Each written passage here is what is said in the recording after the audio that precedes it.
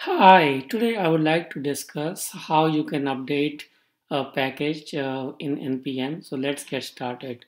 The first thing you want to do is just type in the command npm outdated and it will tell you uh, what is currently available here and uh, what's uh, being so current for example contribute css min is 0.62 and the latest is 1.02 so let me just uh, show you my package.json and uh, see how I can update this. So I want to update just this particular package CSS min so I can basically go and try to get that uh, new version 1.00 and plug it in here uh, and let's just see once I change that I can do npm update and uh, it should just take a second and uh, while it is uh, going on you can uh, just observe the package.json the only change I made was to update this particular version.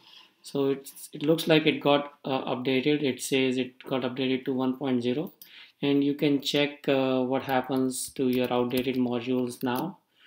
And I'm going to type in the same command npm outdated and as you can see that uh, the grunt contribute css min does not show there anyway.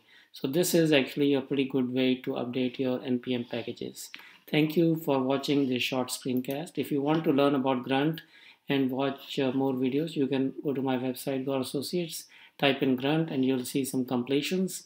And you can also um, see uh, lots of links to useful resources. Thank you for watching this short screencast and you have a great day